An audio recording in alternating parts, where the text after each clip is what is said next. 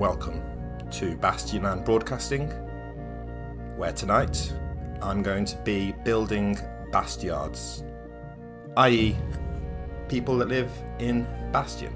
Um, and I'm going to be demonstrating how Electric Bastion Bastionland has some stuff in there that you can use to make non-player characters.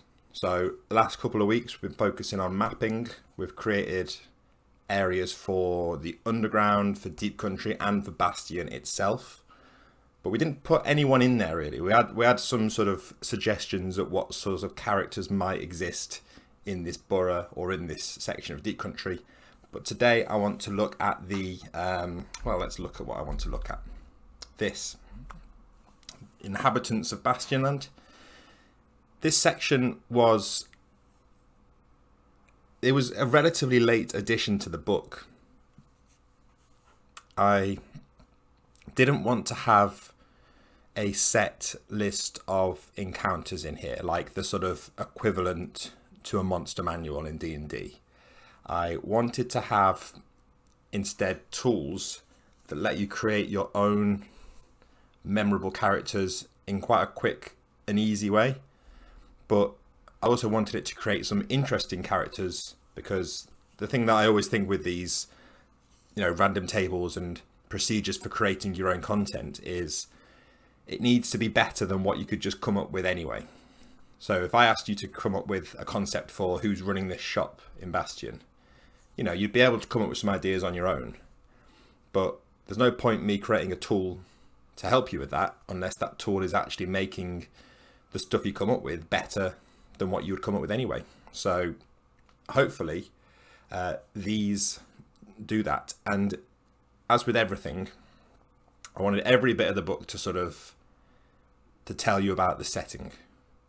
And in a way, this set of like 10 pages is kind of the the bit that people could just read through and get a really good sense of the setting because you know it tells you who you're going to be encountering um, and I know I go on about the art every week, but a couple of my favourite pieces here.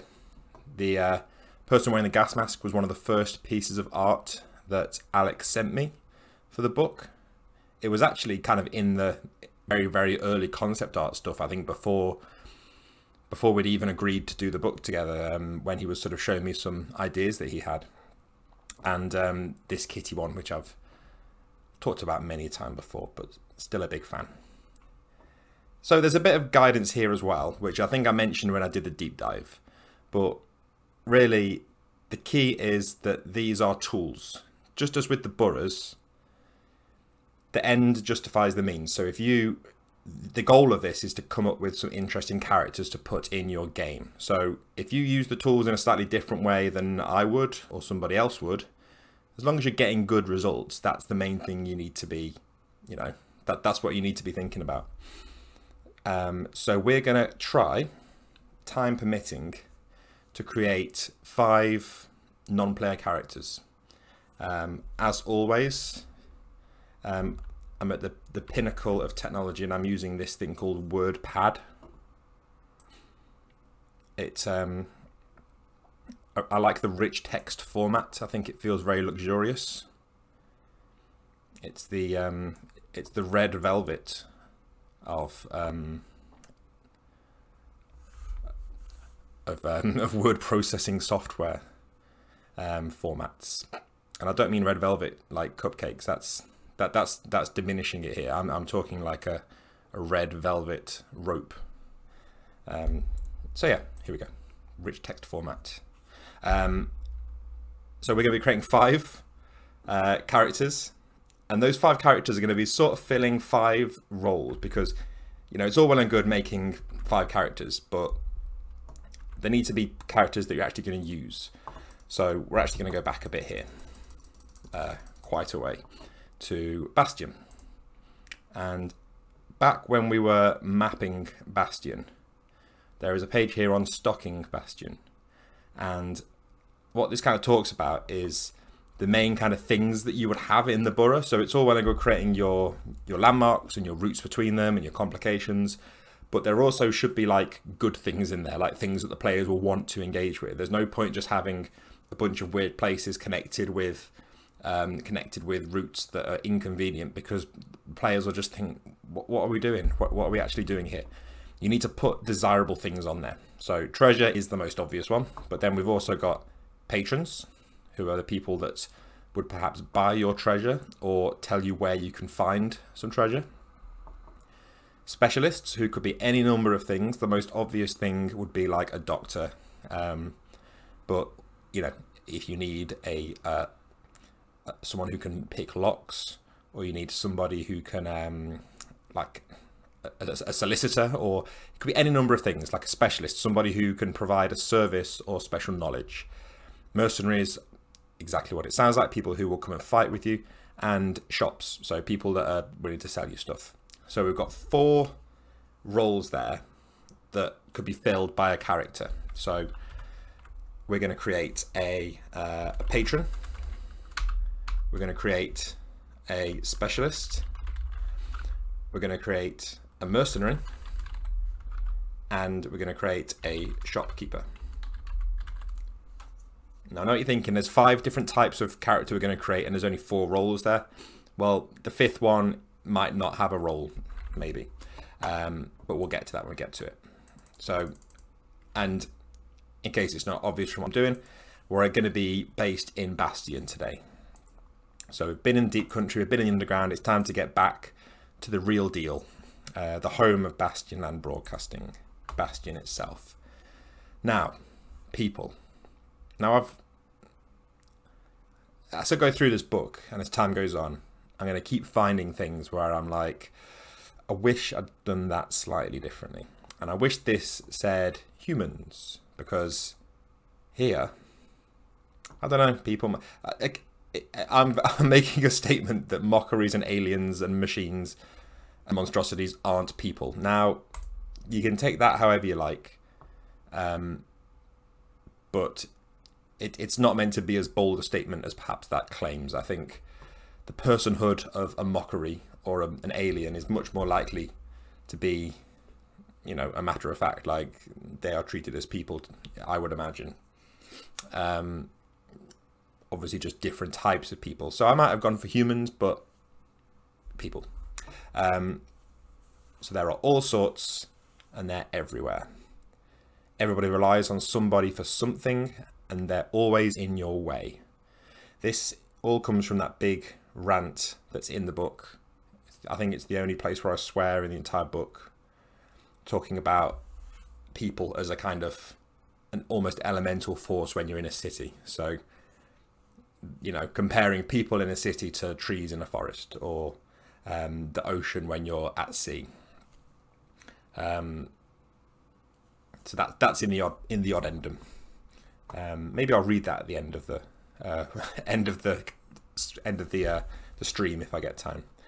So we're going to create a person, and these these inhabitants of Bastion and spreads, as with everything, it's meant to be like a, a two-page spread. I was just talking with some people actually about the book being lay flat and why that was so important because I wanted you to be able to lay this out.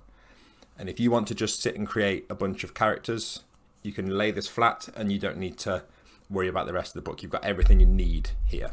You can dip into the rest of the book for inspiration, but everything that you kind of need for the regular way of making people is on this two-page spread. So we're going to follow this. It's it's less of a procedure than the mapping. It's not quite as step by step as the the mapping procedure is, but instead, um, well, it, it's sort of mentioned here. Um, yeah, it sort of says pick a template that fits what you need, roll on the spark table, and then season to taste. So we're kind of starting on this side really. And then we're going to use this side uh, to add flavor. Normally I would say read this, internalize it, and then use it here, but we're going to we're going to go slightly backwards. Uh, Hoaxfish asks about Soylent Green. Yes, obviously that is people. I don't know if you could make it with mockeries. I don't think they would be quite as palatable or nutritious. I think they're mostly felt and stuffing. Um, so chat, I'm going to be asking you for help.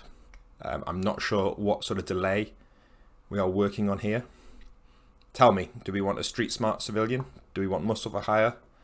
Or do we want a frontline leader?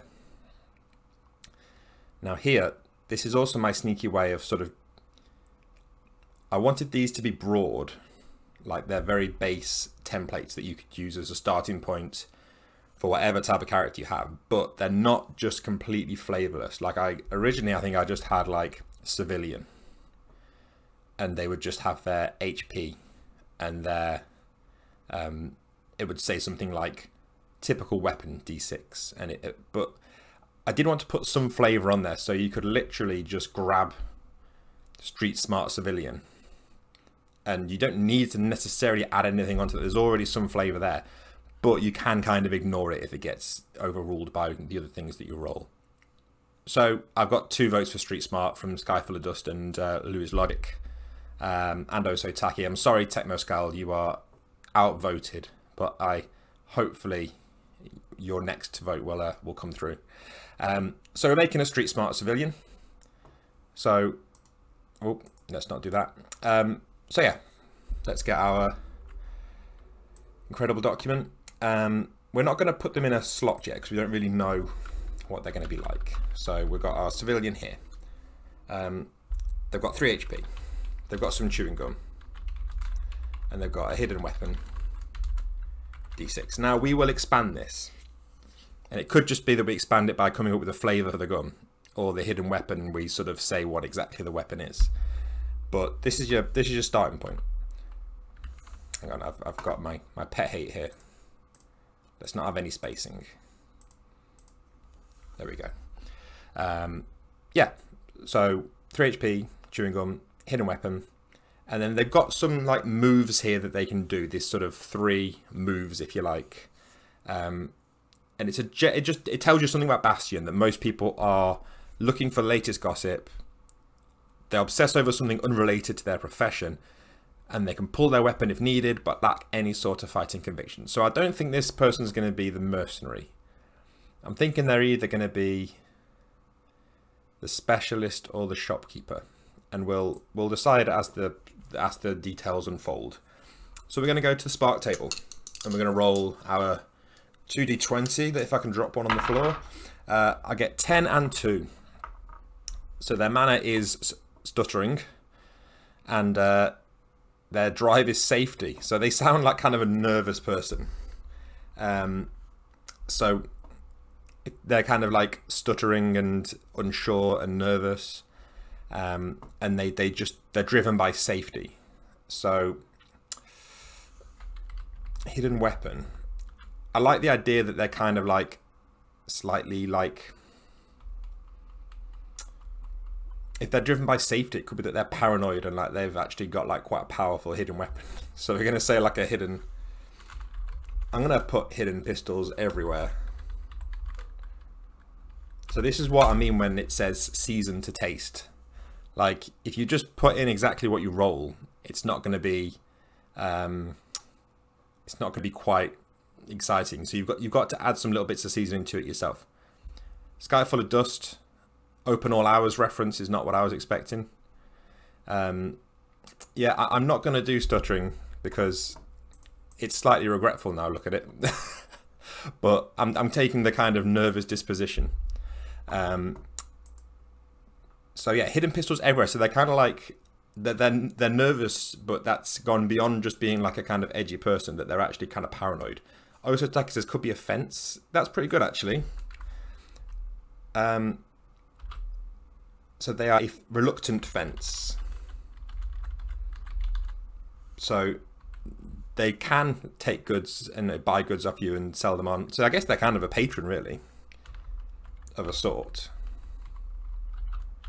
Yeah, because you know it's easy to imagine the patron as being like the typical like wealthy person that sat sat on their throne and they're like, yes, go and find me the treasure in this dungeon, and that's that's fine, it works, but it is good to try and fit a square peg into the round hole sometimes because that will you'll get interesting results more so than you will with a peg.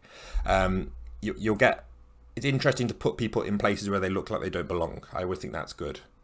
Um, so you know, we, we could have made this guy the mercenary, and just had it be that he's completely like unassuming and looks and really like unimposing.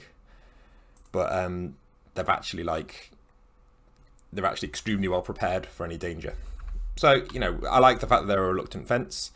Uh, so we could put in the moves that are in there. So it's like look for gossip. Oh, obsess over something unrelated to their profession. We'll come back to that. And pull the weapon if needed, but lack any sort of fighting conviction. So we can take those general ideas and just make them fit our character a bit more. We could just throw them out completely and just give them like three weird mannerisms that we like. But I like taking them and just twisting them a bit. So rather than pull their weapon if needed, but like any sort of fighting conviction. Instead, I'd say like they're... So they're like... Um, so they're they're like paranoid and like they're worried that they need to keep themselves safe. So let's say they've always got a plan to escape and if needed take anybody out. So like as soon as they meet you, they're like looking over you and they're like, at some point I may need to kill you to survive. Um, they're just like very ruthless in that sense. Um, looking for gossip, let's change that to like they're always uh, looking for like a way out. Uh, that's kind of covered with always got a plan to escape. Um, so rather than gossip, it's like they always know there was no good place to sell.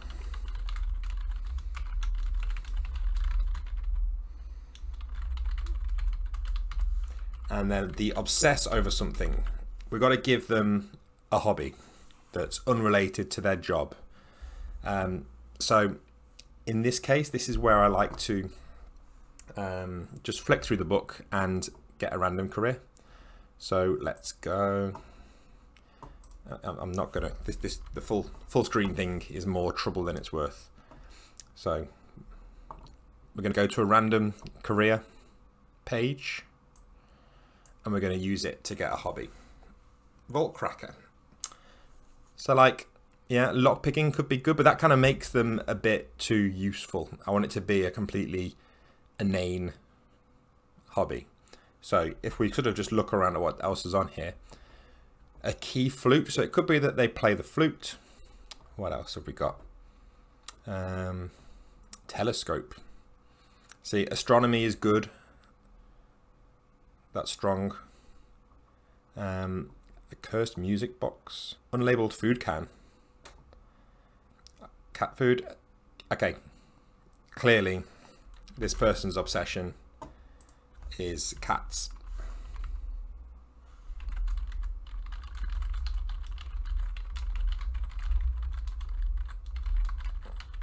So they're a cat person. Um, so we're going to change their chewing gum for pouch of cat food. So you know they they're out and maybe they get some comfort from like feeding stray cats. Um, there we go. And we'll, while we're here, we've got some sample names. We've got Garen, Phantomax, Ruffy, Stanbar. Now this is all well and good, but didn't I put a naming thing in here? Okay, I've already like forgotten what what book we're on, what page we're on. 238? No, this is not it. Bear with me. So I think, I know for a fact there's like a naming guide in here somewhere, and there's a naming trick, but I'm forgetting where I put it. So I think it's in people. We're getting there, we're getting there. Here we go. Names. I knew it. This book's got everything, hasn't it? really did think of everything and then I forgot it. So it's great. I get to enjoy it like it's fresh. Um, so when my computer decides to load this PDF, when I like move the PDF, I see my stream quality just like dip. It's um, it's tough going. So my advice on names. Full names are difficult to remember. Give them a strong forename or a surname with a title instead. Made up names are even harder to remember. Use existing words like Corporal Plank, Dr. Scantily, or Gusset. If you want to hide the meaning of the name, use a foreign or obscure word spelled or pronounced badly. For example, pig in Spanish, Spanish is, I've never had to say it out loud, cerdo. So I could badly pronounce it as curdo for a gluttonous character. So let's use that logic. We're going to give them a single name. Uh, we're going to use like a, a, real word that's based around something to do with their character. Um, so they're kind of like they're always looking for an escape. Escape hatch. We're going to go with hatch. And we're going to call them. Uh, we're just going to go with Mr. Hatch. Like it's it's solid. So Mr. Hatch, our reluctant fence. He has 3 HP, a pouch of cat food, hidden pistols everywhere, he always knows a good place to sell stolen goods. He's obsessed with cats and will do anything to meet them and protect them. And he's always got a plan to escape. And if needed, take you out. So there we go. Our paranoid um, fence. There you go. Our cassowary is, yeah, Odd Gallop. Oh, yeah, Technoscald, Cerdo you can tell that I've um, read more read more Spanish than I've ever had to actually speak out loud. So there we go. That's our that's our people done. Um, you know what? When we're, we're not done. We're not done because at the moment this person I don't quite have a picture of them. I've got a bit. It's good, but one of the first things here I've said about is making people memorable because at the moment I feel like they could need a little bit of pepping up. So memorable individuals, give them an immediate visual gimmick. Amplify this gimmick into their personality or contrast it with something unexpected, but make it big. Tie them into another character somehow or put them in right in the way. So we're going to tie these characters together at the end, but needs like a visual gimmick. Um, so I think, hmm, if we're gonna have, if, if he's got pouches of cat food and hidden pistols, I'm imagining them having like a gigantic coat. So like, skinny body in a gigantic coat because that's easy to visualize and it's kind of like amplified cartoon style things where like you know, like for for a good character design in a cartoon, you should be able to identify the character from their silhouette. I think you should be able to visualize the character very clearly from like a very short description. So it's not that good for me to sit and explain to the players like, okay, this character is about five foot ten. I'd say they're in their mid forties. He's got a very gaunt face and a, a long nose and um, sort of thinning. Like I, I can do all that and it it works, but if I just say they've got a skinny body and a gigantic coat, we might be imagining slightly different things, but you're filled in some of the gaps yourself, and then the personality can kind of come through. I like the idea of a cat papoose, as suggested by Sky Full of Dust, but I think I think this person likes cats. I don't know if cats necessarily like them. Maybe that's the uh, that's why they've got their um, all the cat food because they're always trying to get like the cats to come over, but then they're not interested.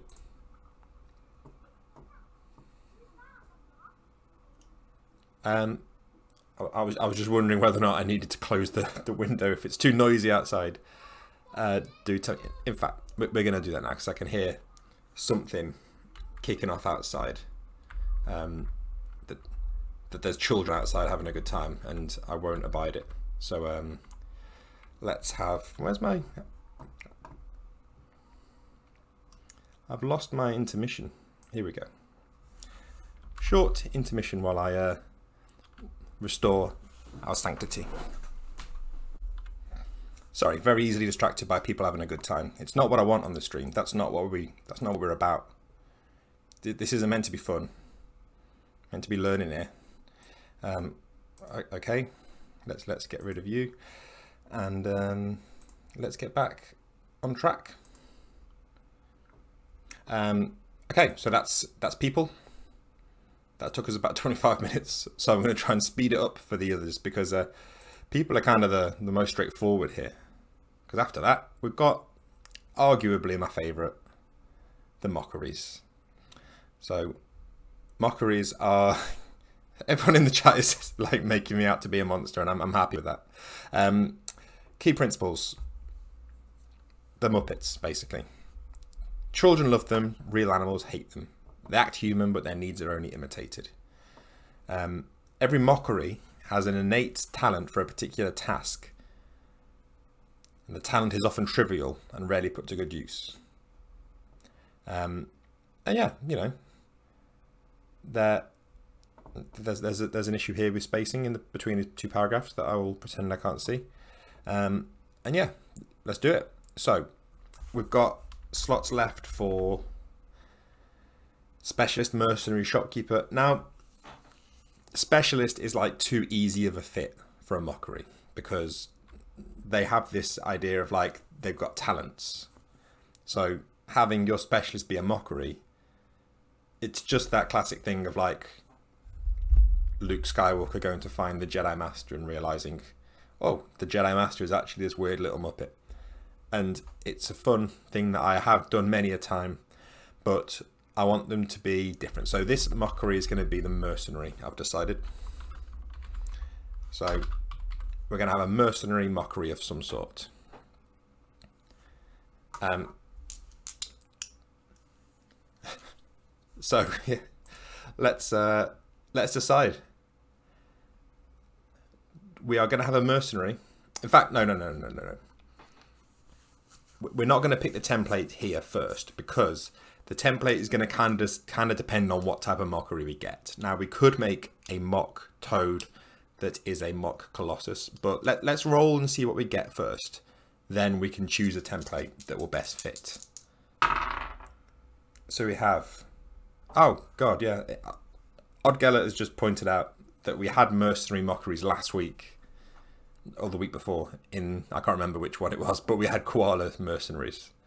Um, so yeah, there's no good, there's no new ideas under the sun. Um, so we have a dolphin, right? Okay, so we've got a mock dolphin. Why did I put dolphin in there? That's that's a ridiculous one.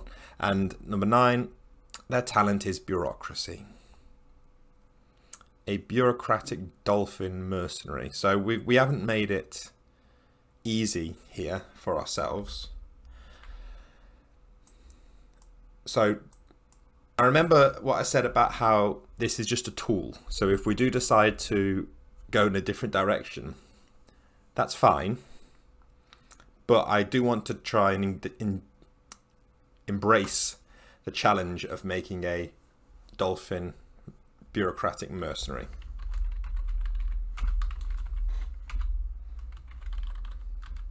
So how would they be a bureaucrat and a mercenary?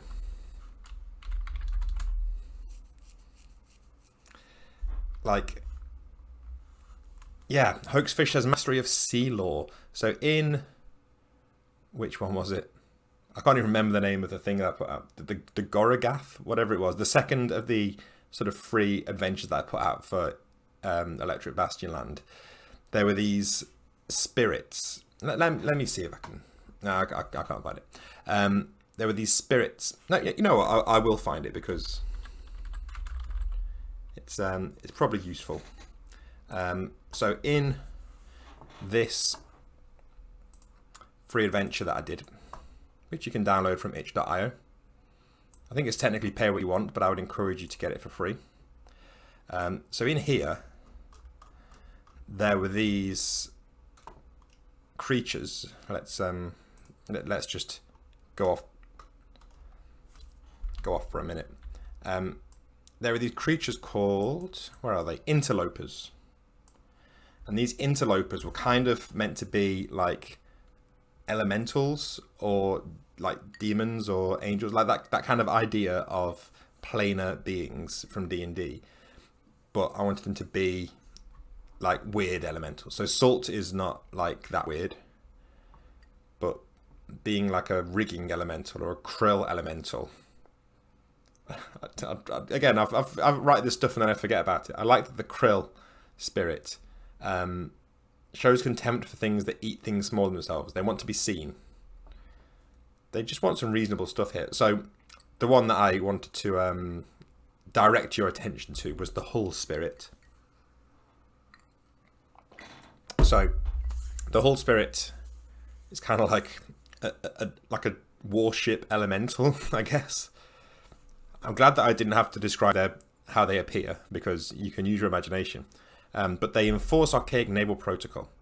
And it kind of makes me think about having a a dolphin that's like the bureaucratic element comes from like naval law and like protocol. Uh, like they, they will only do things by um, if if it adheres to like the proper protocol of war. So rigorously follows naval protocol. Um, I'm assu- how, how are they getting around? I'm assuming they can like hop on their like tail because if they if they're limited to water, it's going to be a bit weird. But I also kind of think like mockeries in water isn't a great combination anyway. So I'm imagining that he can walk somehow. In fact, hmm.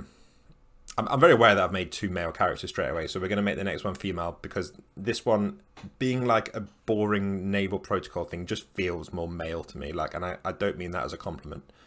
Um, okay, so he's a mercenary. He follows naval protocol. Um, fighting packs. Yeah, dolphins and packs, pods, mastery of sea law. Well, let's choose our template and then maybe that will help us out here. So they are not a rodent. So originally, rodent was something just like mock vermin to, to just show that it's smaller. But again, these are templates. So if you've got like a pigeon or something, use the rodent. A mock beast. Um, or a mock colossus. They're not. They're definitely not a colossus. I think they're probably a beast in terms of size. But again, these are templates, so let's be let's be creative here. Um, 7 HP sounds fine to me. They're a D8 gore. I, I don't know. I'm thinking like a D6 bite as their like physical attack. Um, strength 15. That sound. I don't picture this dolphin being especially like dex, um, especially strong, but maybe they are dexterous, so I'll give them dex 15 instead. I kind of default to 15 as like the you're good at this stat because people can agonize over like should it be 13, 14, 15. 15 is a nice round number. Um, hides his eyes 88. This is Rimmer from Red Dwarf. That, that's that's a good shout. I like it. Um, there's there's enough Red Dwarf references in this game already. Um, okay, so they've got bite. Um, what what like weird naval weapon would this dolphin be using? Like, like a, like a gun seems a bit too obvious. Or maybe they've got like a cannon. Maybe they have like a cannon that's being oh. Is it too stupid that they have like a mock cannon? That's like a Muppet cannon that follows them around, and they can like order it to attack. I think now that I've said it out loud, I need to put that in there. Um, so, yeah. Followed by a mock cannon. So that can fire for D10. A cannon's like D12, really. Uh, you know, let, let's do a D10 blast. That's pretty, pretty damn big weapon. So they're followed by a mock cannon the cannon's not going to be especially tough if it gets attacked itself. Um, give me like a, a personality trait for this cannon, like a living cannon. Um, so, what's what's what's the deal with this cannon? What what why do they have a personality of their own? And what is that personality?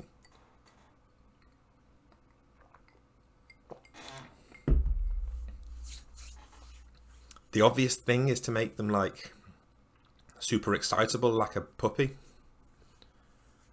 Or maybe it's like a really old cannon and it's like going deaf.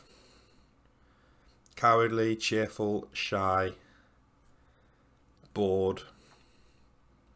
I do like shy actually, Eris shrugged. Eris shrugged, sorry. Skyflood just said pacifist, and that would be like my go-to one. Like you just sort of directly juxtapose what you'd expect. But I quite like shy because it's it's a bit more interesting. It's not sometimes like the direct juxtaposition is good, but sometimes like the angle is. Does that make any sense? Like if you go for the direct opposite, it works. But sometimes if you go in at a different angle with a different concept, like shy and cannon aren't directly. You get what I'm saying. Shy. Shy but curious. I feel like this cannon's going to get like a, a character arc. So, Dolphin Bureaucrat. So this, well, we need one more. Oh, so their talent is like bureaucracy, isn't it? So they, they know everything about naval law.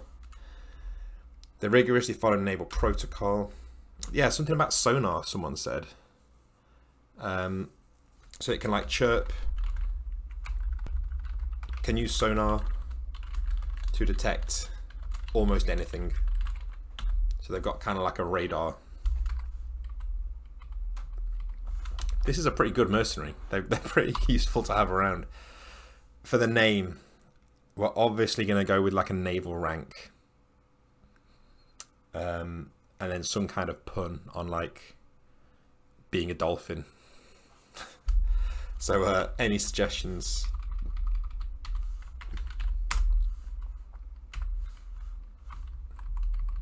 I feel like they can't be an admiral.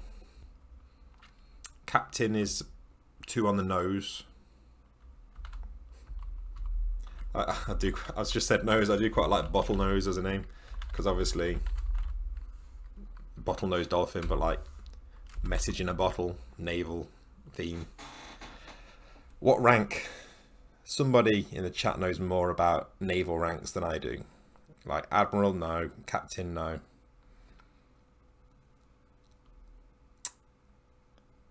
Commodore is incredible. Thank you, Technoscald.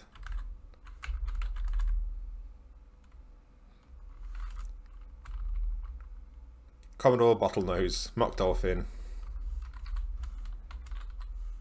So they are on Mercenary. Mock Dolphin Mercenary.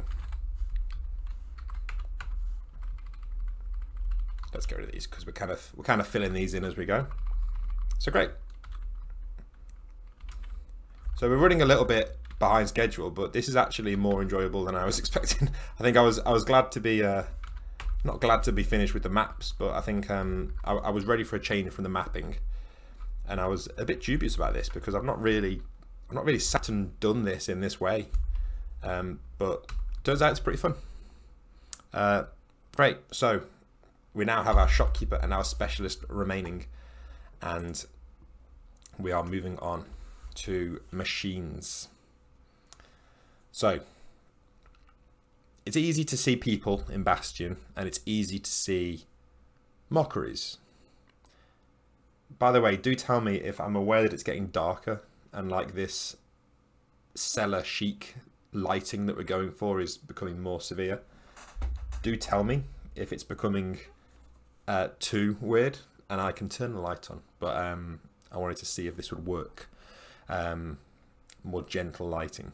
So machines, it's easy to think of them as just things that exist down in the underground and they're not in Bastion. But what's the first principle of Bastion? Everything is here. So machines are here as well. And you know, put them in there. Don't don't keep them as just something that's in the underground. Use them. Like you basically got robots if you want them. They're like robots with a kind of specific flavor, and they, they're also they're kind of more like computers, but any, anything like that, you can you can make it work. So let's let's let's just look at that because it, they're a slightly harder concept in a way to grasp than mockeries. Um, so let's just remove me for a second. Um, so they are machines, but they always have a way to communicate.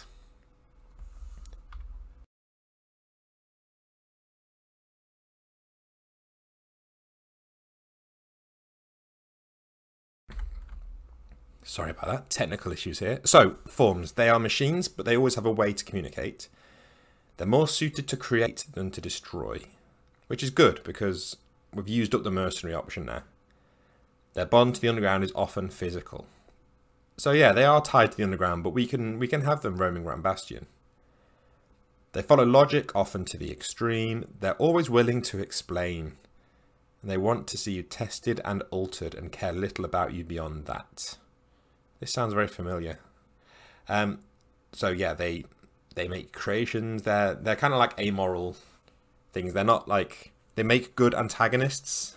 Perhaps they're like the easiest inhabitant to slip into that villain role, but also they're not limited to that. They can they're not like evil if you like. They're just very different to uh very different to the other types of being that are around. Oh no. Um, so we're going to use our template here. So what do you think? Uh, no, let's, again, let's roll our sparks before we decide which template we're going to use. I've got number 17 and number 16. So some of these are more specific than others. We've got a brass lizard, which is quite specific. So brass lizard. And they are um, 17 was brass lizard, 16 jealous and bitter is their character. Hmm, right, okay. That gives us something to work with, definitely. Um, I think I'm seeing this perhaps I just like the idea of a brass lizard running a shop. So we're going to put them in the shopkeeper role. Up here. Let, us just move specialist out of the way. So for our shopkeeper, we're going to go for a brass lizard. Um, they're going to be jealous and bitter. Um, which template is going to fit here? Now remember that you don't get a charisma score basically. Um, which is a weird little rule. I think I could have probably left that out because I, I like the idea that people would use common sense here, but it's a bit of a relic this here. I think if I was writing the book today, I would not have included that little note. Um, Sky Full of Dust says, like being jealous of a rival shopkeeper. If if you were here for any of the the mapping ones, you'll know that that's a trope that I do go back to pretty readily. Like putting two of the same thing in a borough and making them like rivals. Uh, so we could go that way. Holographic could be cool. Um, because we could get, we don't have to use this brass lizard idea fully. It could just be that they are like brass in color and they're like projected into the shop. Um, you know what? Let's do it. Let's go holographic. So they are a golden light lizard. I'm going golden because like the idea of brass light doesn't really work that well. So they are a lizard composed out of light that's kind of like that's the physical embodiment of the machine.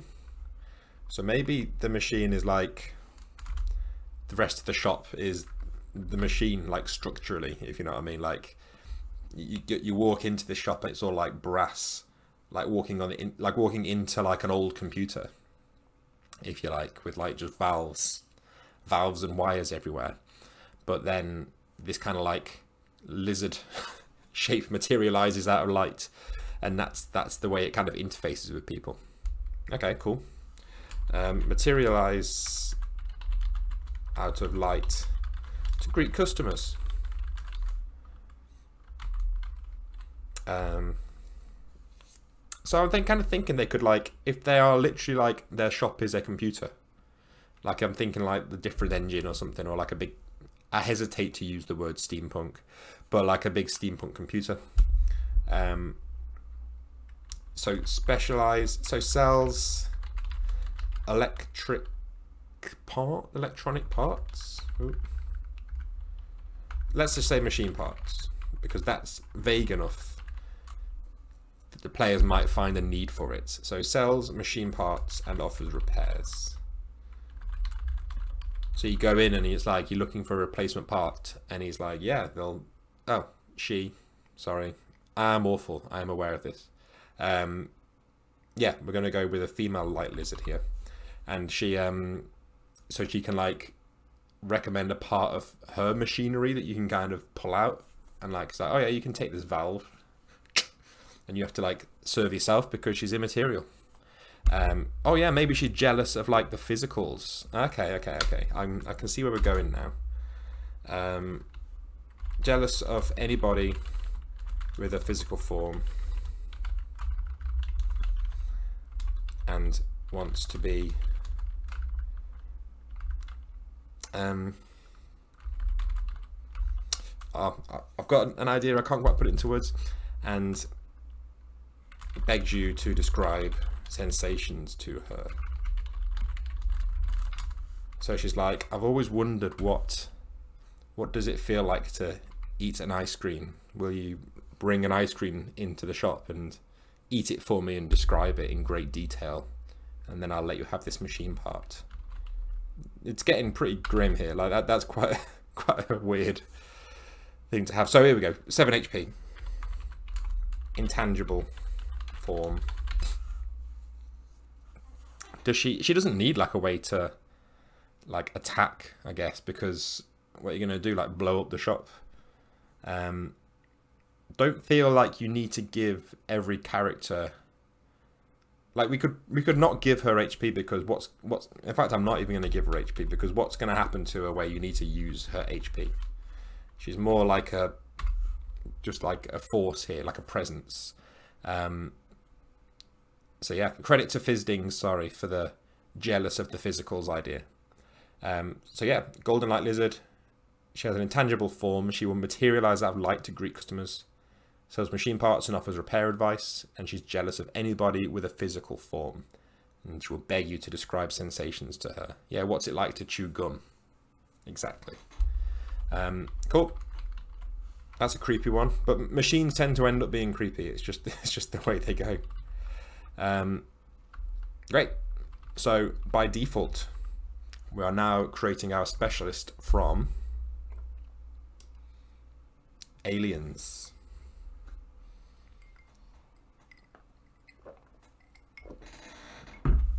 probably, well, certainly, I think, the least fleshed out of the inhabitants for various reasons.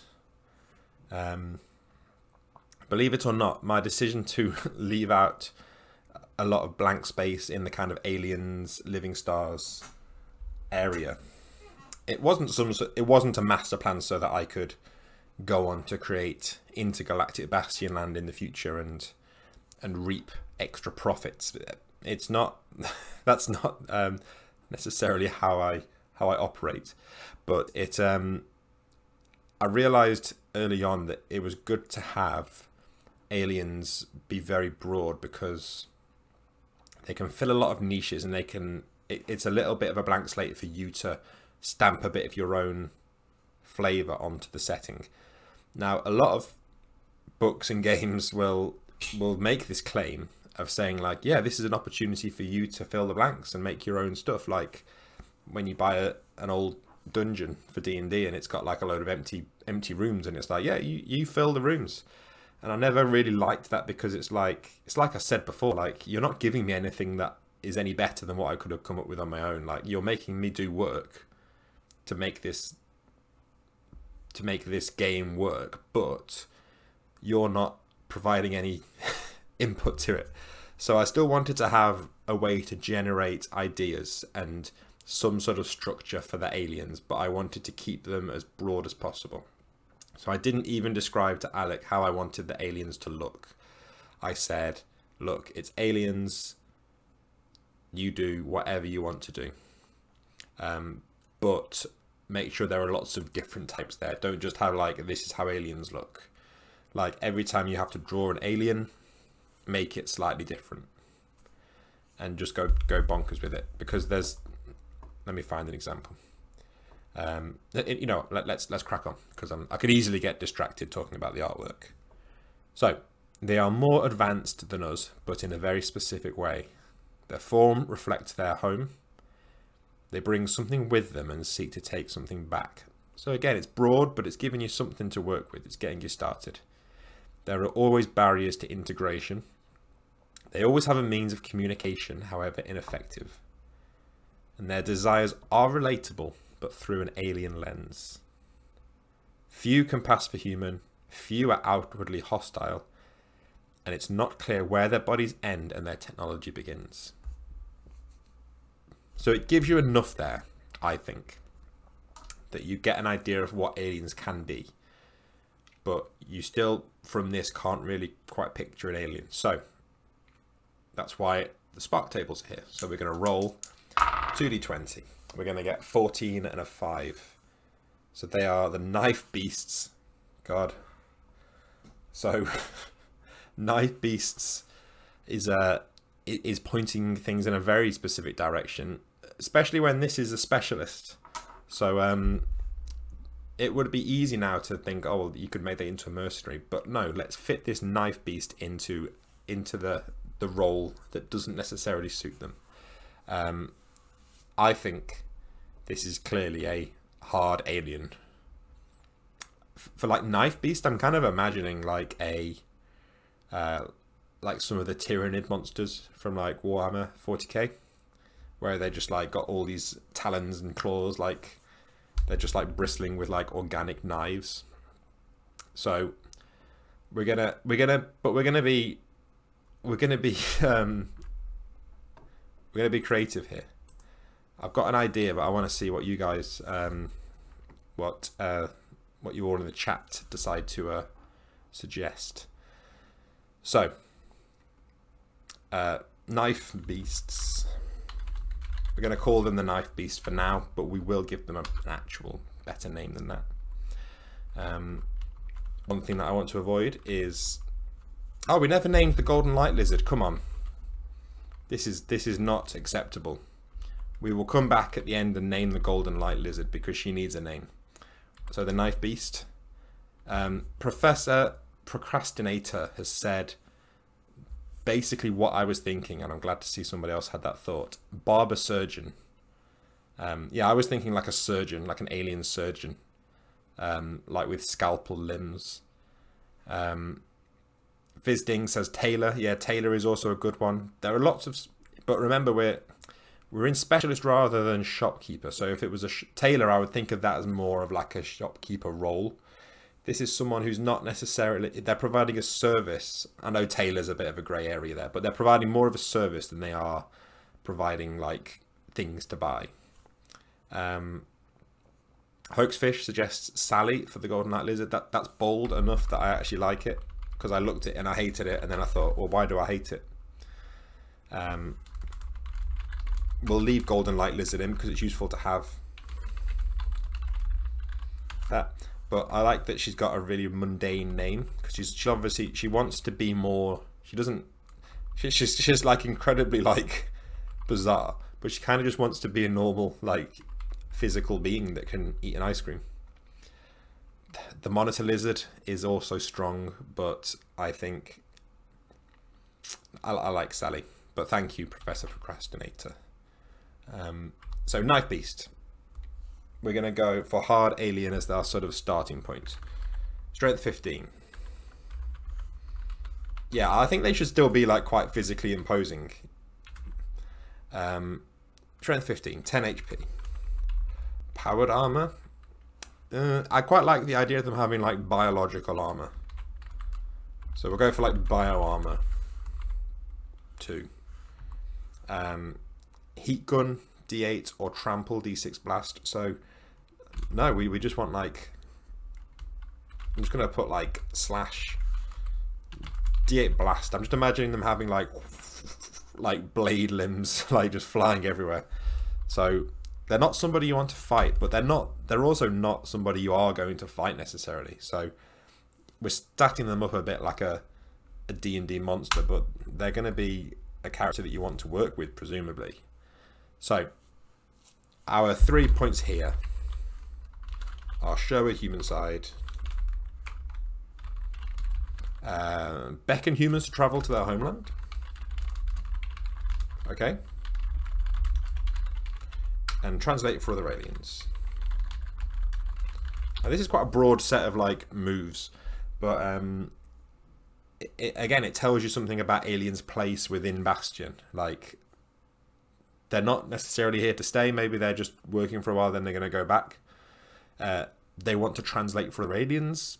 It, it's it tells you something about the place of aliens within the city.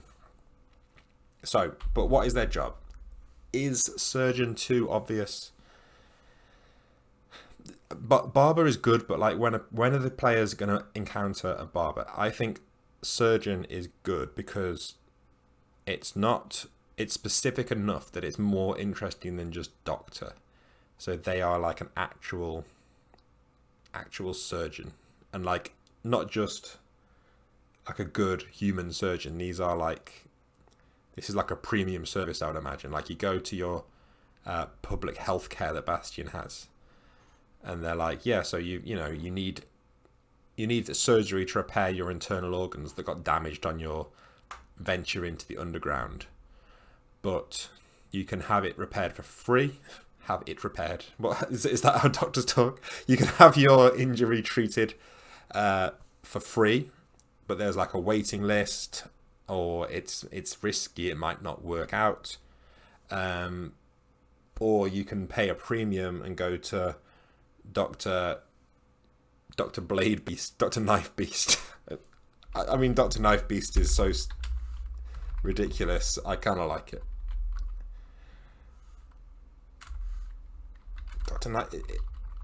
Is it too on the nose? Should it, should it be spelt like phonetically so that it's like Doctor Knife Beast like that? And it's like, yes, well, that is my name, and I am a a horrifying, uh, horrifying knife alien, but please call me Doctor Knife Beast. Um, cosmetic surgery, Skyfall Dust. Yeah, that, that's that's also a nice idea, I think. But I think we're just going to go with surgeon. In fact, surgeons aren't called doctor. I'm aware that surgeons aren't called doctor uh, in reality necessarily, but uh, we're going to call this one Doctor Knife Beast because it's it's better. Um, Doctor Knife Beast. Um, yeah, so they are a blade-limbed alien. So it's like getting your getting your surgery done by like a Carnifex uh, show a human side. So what do they what do they do that shows a human side? Because they're they're kind of terrifying. Um, so they're like they relish in small talk. You know, like when you go to the dentist and they're trying to put you at ease. Dentist would be good as well. But like they, when when you go to a dentist and they're trying to put you at ease by just like asking about if you're going on holiday this year or how's your work been, and it's it's it's always really awkward because you're like in this weird chair and you're you just kind of want to be out of there. But yeah, so he he really really wants to just chat with you, but it's horrifying. So what's the like? Register small talk. Um, uh, you know, they, they, they, it says that there's always like an obstacle um, to communication. So an obvious thing is to like give them like a disgusting like tentacle mouth or something. But I think maybe they just like they don't fully understand small talk, so they'll ask like too personal questions so they'll be like, "Oh, hi, did you have you had a nice breakfast this morning before your surgery?" Yes. Um, how how are your reproductive organs operating at the moment? Is that, is that good? Um, they'll just ask inappropriate questions, relish in small talk, and uh, but doesn't understand that doesn't understand boundaries of conversation. Um, beckons humans to travel to their homeland. Uh, mm, I don't know. I feel like this. I feel like this this alien has found like a true home in Bastion. Uh, give out lollipops is good. Um. Ah, so Fizding says service is free as long as you don't require all human organs parts. So maybe they like will try to upsell you to alien parts So it's like, yes, well, while I'm repairing your heart, um, I notice it's not very efficient. I could replace it with a, with a, with a part from some alien species that has a, a gigantic like heart that that beats at a much higher level. Um, translate for other aliens. Um, I feel like this should be something to do with their relationship with other aliens, uh, but I don't like the translate idea, even though they clearly have a good grasp on Bastionese language. Um, yeah, let's give them a slightly sinister um, side. So Technoscal says alien organ trafficker. We could do that. Remain 83 says they wear a smiley mask. You know what? I quite like that because it's that's even more horrifying. Um, so like to put to put the patients at ease, they have like a human, like a mask of just not a literal human face, but like a mask that's made to look like a human face, but you can still see all their like weird bug-like body with like these claws underneath. Um, matchmaking, I like it. Sky full of dust. I would not have thought of that. So um, always trying to matchmake between species. I'll leave that there. Um, so they're trying to be like, oh, if you, well, if you're single, I've got a friend. Um, I've got a friend who is uh, ripe with larva and they are very much looking for a mate. Like they're trying to set you up with like weird alien creatures. Cool, done. That's disgusting, but we're done. Now, the last, well, let's just take a moment to enjoy these four characters because I think we've done pretty well there. Um, Dr. Knife Beast, the blade limbed alien, Sally the golden like lizard. Um, let's let's just clarify here. Intangible form, uh, exists within a shop-sized machine body. That doesn't make any sense. When, when, I'm, when I'm writing these notes, I'm kind of writing it as if I'm going to be running the game myself. if I was to publish this, and I'll, I'll, put these on Twitter afterwards, and I don't think it's going to make sense to anyone else uh, who wasn't here for the creation of it, but I'll sort of write these as if I'm writing them for myself because this is what you would be doing. You don't you don't need to explain it in a way that somebody else would understand because it's it's for your game. Um, Commodore Bottlenose, the Mock Dolphin Mercenary, and Mr. Hatch. Mr. Hatch is seeming very mundane now. Now that we've got this Mock Dolphin with a Mock Cannon and this intangible like lizard and this alien surgeon. But we still have one left. Monstrosities. So, this was the late, the last addition to this section of the book. We didn't have this in there. I added it in, and that they were originally called abominations, but that suggested that suggested a tone that I didn't really want to go for. Instead, the idea behind these was more. I wanted to show that you can use the existing types of being, but you can twist them beyond recognition. And that is the idea that monstrosities are made, they're not born. So there might sometimes you just want to put a monster in there, something that's horrifying and it's like terrorizing the neighborhood, and it needs to be needs to be killed or driven away or pacified somehow.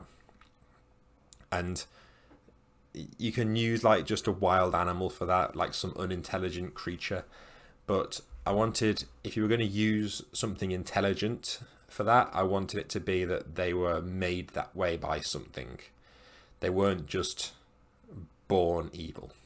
Because this is a little bit more interesting i think in my experience and it creates a little bit more moral grey area but not too much.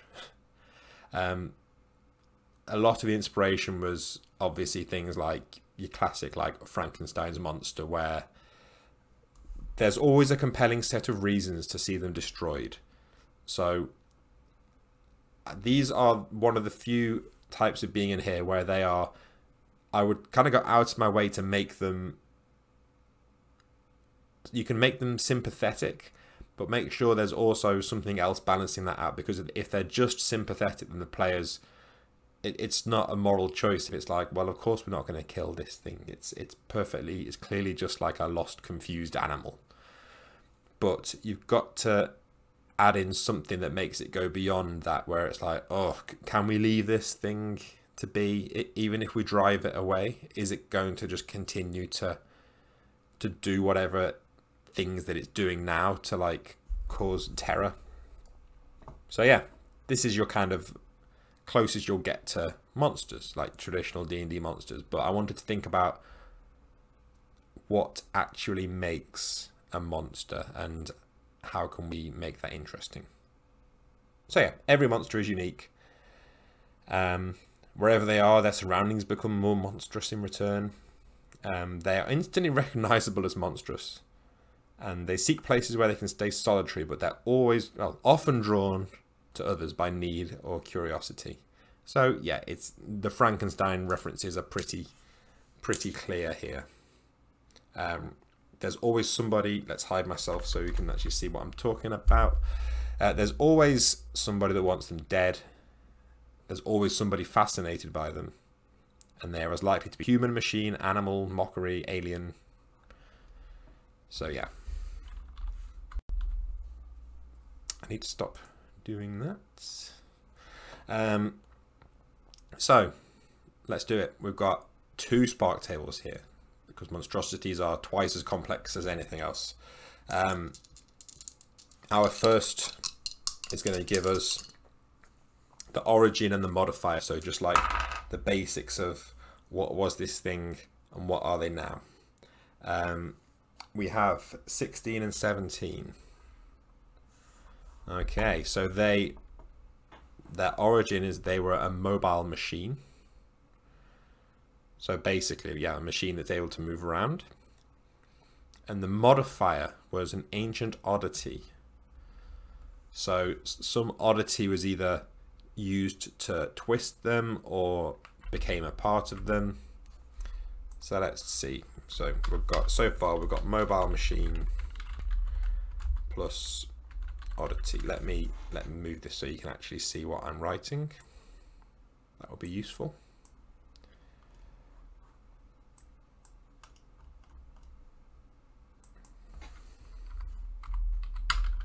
There we go. So mobile machine and oddity. Um, ancient oddity even. Okay, cool. So that gives us something. And then our theme and danger. Our theme. Oh, I've got the same. I've got 15 and 15. Their theme is fear. And the danger is weaponize environment. So it's a machine the theme is fear and they can weaponize their environment somehow. Um, okay. Chat, give me some give me some thoughts. So weaponize environment, we'll just put that as a move for now, but we'll, we will actually make it work. And what was your thing? Fear. Um, okay. So how would a mobile machine weaponize their environment and have kind of fear as a thing? I'm getting like weird like robot Freddy Krueger ideas, which is kind of a bit too silly.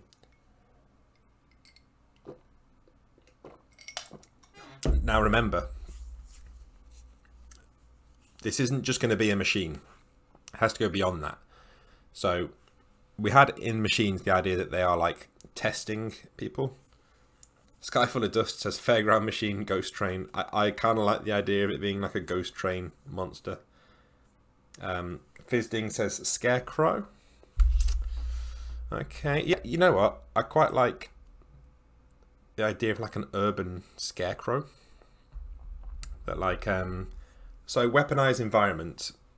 Again, we could, we're not locked into this legally. I haven't signed a contract to say I'm definitely going to use that if we come up with an idea that's like adjacent to that and it's still good, I would say use it. So I quite like the idea of them being like a scarecrow or like a scaring birds away, but they can like control the birds and weaponize them somehow. Um, Professor Procrastinator says a burrowing centipede robot that causes earthquakes. Yeah, that's also good. Um, maybe they are. You know, I quite like the whole burrowing centipede thing. So let's get our template. We're going to go big. We're going to say that they are a giant beast. So we're going to go strength 18, 15 hit points. So this is a big thing. Um, armor 2. So they can have claws and bite. Um, I'm just going to go mandibles because it's a great word. Uh, so the mandibles are going to be like uh, that's the D10 bite sort of equivalent, or trample. Like a trample is always a good bet, and I just tend to use trample as like a blast attack. Um, so they are like a huge metal centipede. Um, so maybe they're like, so we'll come back to their weaponizing environment thing maybe they they want to monitor something of their machines. They want to like um, they want to monitor earthquake response time.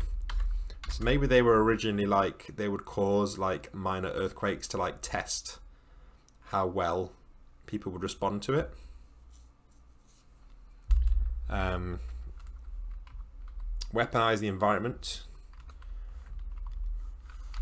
so, cause minor earthquakes to test response time.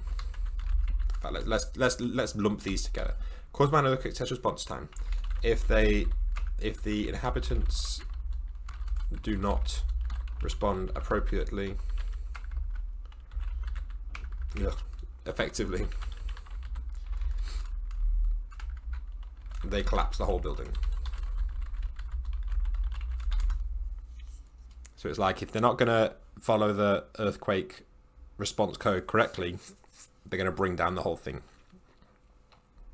Now, where does this ancient oddity thing fit in? Maybe they're like possessed by possessed by some kind of sentient oddity. Hmm.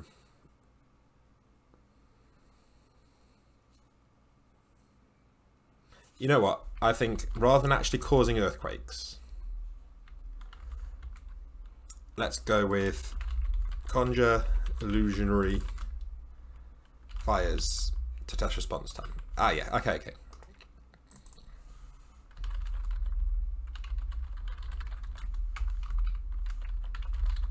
So here's what they do. They are. Oh, we're, we're losing focus again. They are like they're possessed by the they've got some kind of like weird oddity that's a part of them that's like some something to do with illusions and they create illusionary fire and if the inhabitants of the building don't respond correctly to the fire then he just bursts through and like eats them it's it's not the most nuanced it's kind of too complex but also too simple but um you know that works okay. So what's the nature of this, um, the nature of this like illusion thing that they have? Maybe it like absorbed a forgotten tome of that that's that's lame. We're not doing that. Um I was to say they like it absorbed like an illusion spell book sort of thing I guess but that's that's not very not very fitting um, so if we hit this kind of slight dead end, and we, we could we could probably stumble through. I think we can. It there's no shame at all in re-rolling. So the modifier was this kind of ancient oddity idea. Now I don't think it's it's not sort of conjuring much in the way of evocative ideas for me. So, if you don't like your result on the table, you could roll again, but we could be here all night. So let's just look through and choose one. So what gave them this kind of weird illusionary fire uh, thing. So I'm thinking like human science seems like an obvious thing. Like this machine was like harnessed by the fire safety board and it was meant to do a job, but it, it ended up being too effective at it. So yeah, it was like created by the Borough Fire Response Council. So it's like an extreme form of fire drill, but it, it took it too far. And it, it, all it was meant to do was create these fake fires so people could like have a an immersive fire drill. you know let's, let's just call it immersive fire drill simulator. Rogue immersive fire drill simulator. Catchy name. Um, and let, us just give it one more. It needs it needs a twist because at the moment this is not it's not filling me with too much. Um, it's not filling me with much excitement here. So let's let's look back at our spark tables because, like I said, you can choose what you want. So is there anything else in here that we could? So it, it was fear, wasn't it? We didn't. Re I guess it kind of works with fear with the like illusion thing. Um, what else could it have? Um, you know what? We're going to go back to the machine thing and we're going to give it a character here from the machine section. So I'm going to roll a d20. I'm going to score an 8 and that's going to get me a... No, that's a 6. Uh, Devil's Advocate is the character.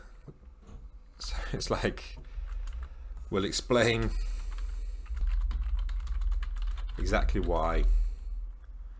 I know that's not really what Devil's Advocate is, but they, they were like, we'll try to explain why they are doing the right thing. So they, they feel like they're providing like a useful service. Like I say, it's, it's not quite devil's advocate, but like they're devil's advocate for themselves, if you like. So the Rogue Immersive Fire Drill Simulator, huge metal centipede. It's big. It can. It was created by the Borough Fire Response Council. It can conjure illusionary fires that test response time, and if the inhabitants do not respond effectively, they erupt from the ground, they destroy the whole building. And they will try to explain why they are doing the right thing. So there's a valid reason why you would want to see this destroyed. Um, there we go, we got it. That's our monstrosity. So that is a job well done. We've got five characters Took us just over an hour, but there was lots of talking as well. Um, Professor Procrastinator.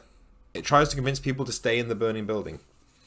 There's a weird kind of twisted logic. I quite like that as a kind of take on Devil's Advocate. Um,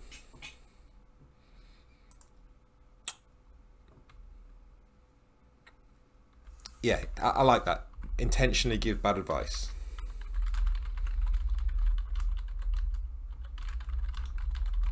Like it's it's part of the test. So it's like it sort of sticks its head out the ground and there's there's fire erupting all around it and it will say like um, please remain within um, please remain within the burning building.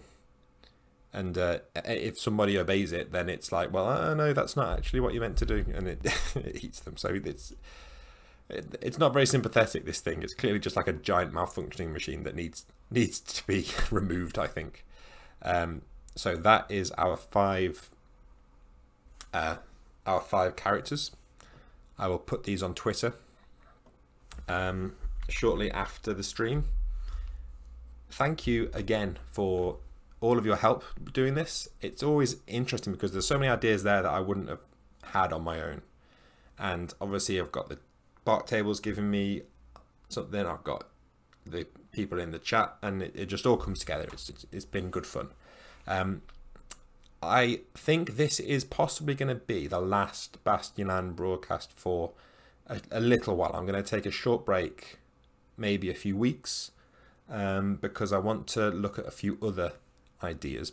it will definitely be coming back at some point, but this will be the last one for a little while. Um, if you want to stay up to date with when the streams will be returning, you can follow me on Twitter at Bastionland. You can follow the Twitch channel now. There's a follow button up there somewhere. Um, and more importantly, as always, you can find everything to do with Bastionland at bastionland.com. Um, and Patreon, sorry. I, I, I, it's that time of the month again where I, I recommend that you check out Patreon if you are enjoying the stuff that I'm making because it makes a big difference to being able to do it. Um, and the link to my Patreon is on uh, on bastionland.com in the sidebar. In other news, it is the Ennies on a week on Friday, I believe. Um, and Bastionland is nominated for Best Writing.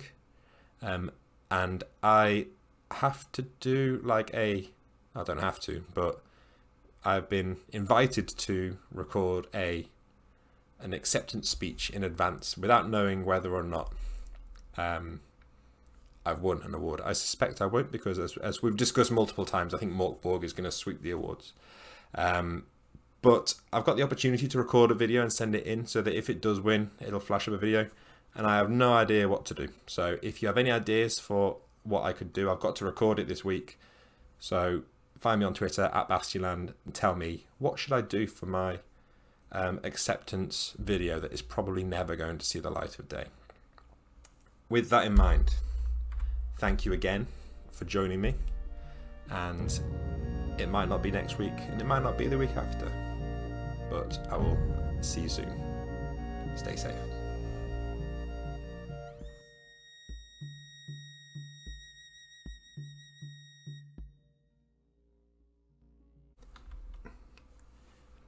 If you frequent a big city, you'll know that all the buildings and cars and pigeons are nothing in comparison to all the bloody people. Now, imagine it on Bastion scale. There are all sorts and they're everywhere. Picture a person. They'd fit somewhere in Bastion. Give them some stupid gimmick. Don't worry, they still fit somewhere. If planning a dungeon is all about drawing maps and rooms and making monsters, planning a borough of Bastion is all about making people. Even when you're creating exciting city locations, someone has wandered over there. They can't be stopped. What sort of person would even want to be here? People you talk to are non player characters, everyone else is scenery. They're the trees in the forest slowing you down, they're the boggy ground drowning your horse, they're the sheer cliff face between you and the treasure, they're the wolves waiting to eat your corpse. Some say to give everybody in your game a name, but in Bastion, the vast majority of people you see remain nameless. You won't even hear most of them speak but they're acting out their own plans and urges and getting swept up with everybody else. If you're going to have details, either give none at all or more than they can handle. If you notice a guy with a huge moustache, you also notice the bridal party and the child leading a baby elephant and the student sports team and the singing drunks. If you go faceless, give them the mood of the crowd, the overall sounds, smells, movement. Don't let the players ever feel like they're on their own. Everything you want is tied to some person in some way. An avalanche, a new weapon, a priceless treasure. Each of those things can be replaced with people. Get your paintbrush, dip it into the tin marked people, and cover as much as you can. The avalanche is a riot. The weapon is a mercenary. The treasure is a hostage. Armour is lackeys, skills are specialists, knowledge is librarians. And those things that are just straight up things, somebody owns that. Somebody else wants it. Somebody else thinks that nobody should be allowed to have it. Got a plan? There are three people in the way of getting what you want. Mastery of people is mastery of Bastion. With all the weird powers you might pick up on your travels, you're nothing on your own in Bastion. Great fighters don't make a difference here, but an army can. Unions are everywhere because people are the most significant currency out there. It's great for those on top, and those underneath sometimes feel valued by the whole arrangement. Sometimes. Getting killed is awful. Losing an ally, not so bad. The worst adversary you can have isn't a brute with a big gun, it's the brute's boss. Does it matter if your ability scores are all below 10 when you've got a bodyguard and a personal thief and a public relations assistant following you around? Does your 2 HP matter when you're never the one on the front line? Even great people are never great at everything. So start building your contact list now.